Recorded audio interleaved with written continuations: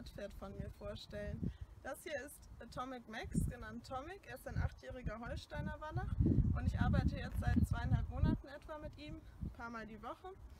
Und ich habe hauptsächlich an der Hand mit ihm gearbeitet, deswegen möchte ich euch das jetzt mal zeigen, weil er das eigentlich ganz gut macht und ich auch schon angefangen habe, ihn anzupiafieren. Und genau, da wollte ich euch einfach mal ein paar Eindrücke mitgeben. Dann schauen wir mal, wie das klappt. Ich möchte gerne einmal am Beispiel von Tomic grob skizzieren, wie ich die Arbeit an der Hand aufbauen würde, wobei für mich diese Arbeit hauptsächlich die Arbeit unterm Sattel vorbereiten soll. Wenn das Pferd die Basislektionen wie Angehen, Halten und Rückwärtsgehen gut kann, würde ich anfangen, die Seitengänge zu erarbeiten, wie man das gerade sah, das Schulter herein, und das Travers, wie man das jetzt sieht. Das Travers kann man entweder auf sich zu oder von sich weg machen, am besten beides.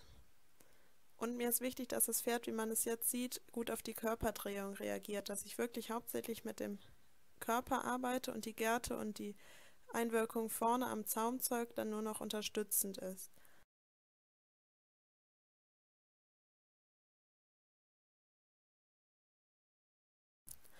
Wenn ich die Seitengänge auf der Geraden ausgebildet habe, lege ich das Ganze auch auf eine große Volte oder einen Zirkel, wie ich das jetzt mache. Zuerst das Schulter herein, dann auch wieder das Travers, wie was Tomic jetzt macht, und nachher auch das Renvers. Das Ganze natürlich erstmal im Schritt und wenn das gut klappt, kann man es auch langsam versuchen mit in den Trab zu nehmen.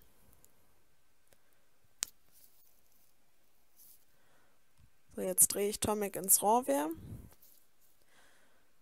Travers und Renvers sind schon wirklich eher versammelnde Seitengänge, für die das Pferd schon ein bisschen weiter sein muss. Deswegen würde ich immer mit Schulter herein anfangen. Das, was Tomic jetzt macht.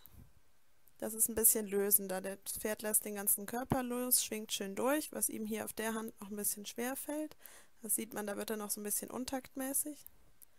Dafür macht er das Travers im Trab schon ganz schön. Da werden, wird er wirklich hinten schön aktiv. Die Hinterbeine treten mehr nach oben. Er bleibt schön kurz. Das macht er wirklich schon gut. Das ist dann auch eine sehr schöne Vorbereitung zum Anpiafieren nachher, weil das das Gewicht richtig gut auf die Hinterhand bringt und dem Pferd beibringt, sich kurz zu machen. Und hier auch immer wieder, wenn das Pferd irgendwas gut macht, sofort anhalten und loben, kurz eine Pause machen und dann wieder neu ansetzen. Und man sieht, dass ich wenig mit der Gerte wirklich antippe. Ich zeige hauptsächlich, das sollte auch wirklich so sein, dass das Pferd hauptsächlich auf die Körperdrehungen reagiert und Gerte und Zügel nur unterstützend sind. Häufiges Wechseln zwischen den Seitengängen, wie jetzt, also zwischen Schulter herein, Travers, Renvers, Traversalen, finde ich sehr wichtig, weil das wirklich, wenn man immer die Position der Vor- und Hinterhand wechselt oder die Biegung wechselt, das macht wirklich den ganzen Pferdekörper beweglich und ist eine sehr gute Gymnastik für die Rückenwirbelsäule weil die sich immer wieder in eine andere Richtung biegen muss. Also es ist gerade zum Lösen wirklich sehr nützlich.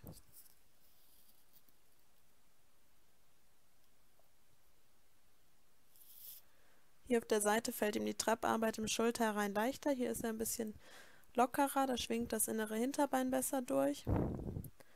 Auch immer in so schön ruhigem, gleichmäßigen Tempo, dass das Pferd nicht auf die Vorhand rennt.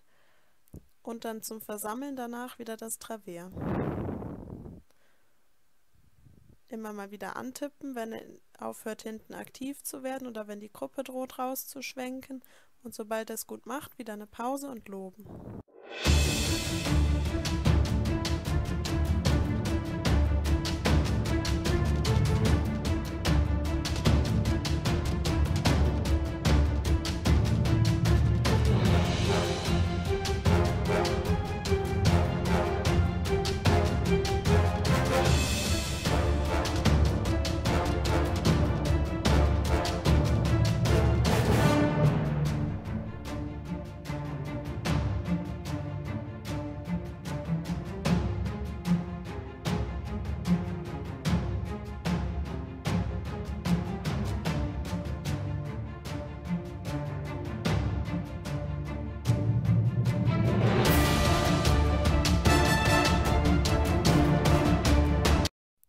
Bisher habe ich mein Pferd mit Hilfe der Seitengänge im Schritt und Trab beweglich gemacht und es auf die Hankenbeugung vorbereitet.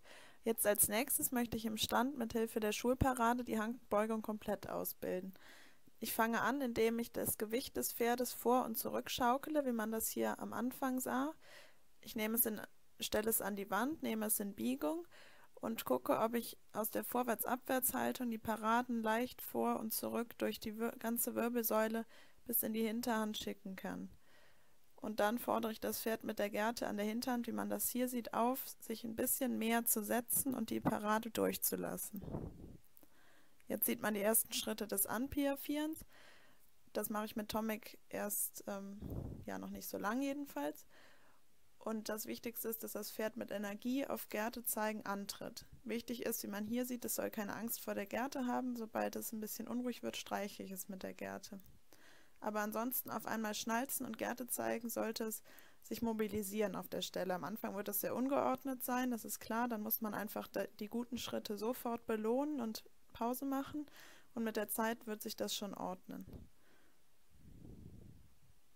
Wenn das Pferd nicht aktiv tritt, kann man es einmal antippen, dann wieder kurz Ruhe und dann nochmals antreten lassen und gucken, ob es sich dann, ob es dann besser arbeitet. Wenn es gut war, auf jeden Fall sofort wieder loben, auch Futter geben, dass das Pferd diese Übung gerne macht und gar nicht nervös wird dabei.